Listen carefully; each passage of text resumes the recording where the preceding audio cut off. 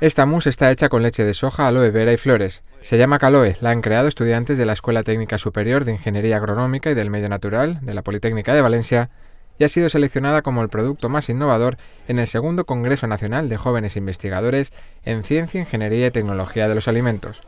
La ventaja principal de nuestro producto, la característica principal es que es un alimento indulgente, es decir, con una baja ingesta del mismo conseguimos eh, una sensación de saciado.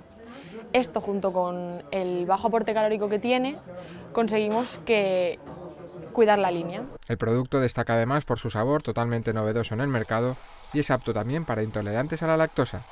Es un sabor que no se encuentra en el mercado porque el sabor principal se lo dan las flores, que es como las gamas de nuestro producto. Nosotros hemos sacado cuatro líneas, una con azahar, la flor típica de aquí de Valencia, otra con violetas, que fue la que presentamos al concurso, una con lilán lilán y otra con rosas. A diferencia de las típicas mousse que vemos en el mercado, la nuestra tiene base de soja, no láctea.